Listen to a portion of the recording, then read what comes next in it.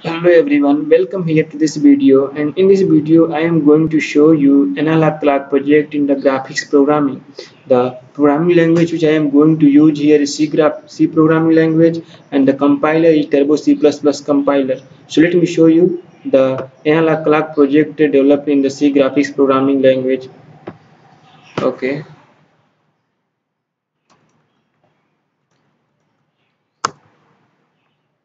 This is here.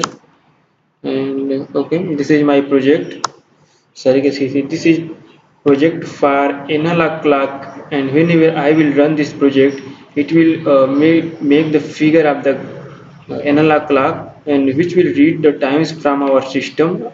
And that time will be shown in that analog clock and this is the code behind that my project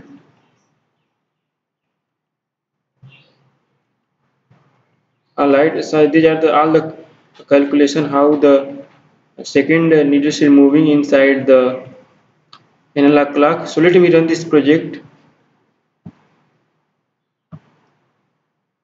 So you can see here the watch is this this is a watch analog and this is telling uh, exact time reading from the system and showing on the console screen.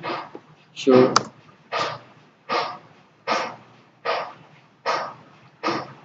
this is the project alright and this is my my header defined file and uh, I have defined this header file myself and this uh, project will not run on another system except my system.